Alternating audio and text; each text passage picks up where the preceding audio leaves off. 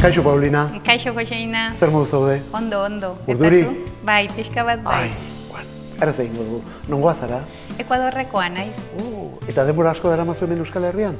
Bai, amazazpi urte dara matzat. Deban. Amazazpi urte. Bai, deban bizi naiz. Deban bai, bizi zara. Bai. Em, iristin, iritsi nintzenean, em, e, gustatuko zitzaidan euskera. Mhm. Baina e, lanengatik edo seme alabengatik ezin nuen em, Ba, ezin nuen aukerarik, bai. Mhm. Orduan duela bost urte, bai, e, pixka e, nire seme alabak handitu zi- zirenean, hasi nintzen ikasten. Jo, ba, ni Euskaldun zara naiz. Nik bizi guztia daramakit euskeraz hitz egiten gurasoek hala erakutsi zidaten, gurasoekin oraindik ere euskeraz hitz egitu dut, arreba bat dut, berarekin ere bai, emaztearekin, alabarekin, euskeraz lan egiten dut, kalera ateratzen izanean ere lagunekin eta ezagunekin normalean euskeraz egiten dut, tokatzen zai batzuetan erderaz egitea, baina eta aitortzen dut, gainera batzuetan neuk egiten dutan kasartze hori, ezta ezagutzen ez dudan jendeari igual hirietan eta batez ere erderaz, gazteleraz egiten dio lehen biziko hitza. Guk euskaldunok beti erderaz hitz egin duzu, ezta? Lehen biziko hitza, ezagutzen Bai, dugu. bai, hori gertatzen zait e, nire, e, nire herrian.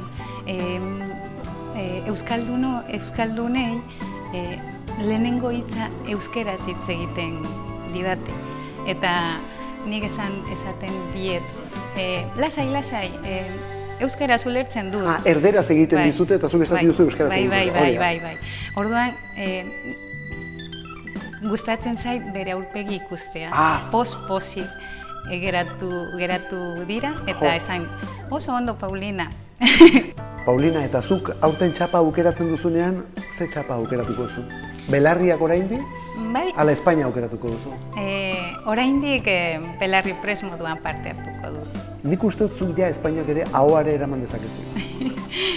Bueno, eturkiz, etorkizunean, espero dut hau bizi moduan parte hartzea, baina oraindik e, aurten e, belarri pres Belarriarekin moduan. Bai. Indartzeko, pixka bat indartzeko. bueno, ja urte pilo bat mazkeit, Bilbon eta Donostian eta bizitzen, baina ba, esaten duena, nire bizitzaren euneko laurogeita marra euskeraz da.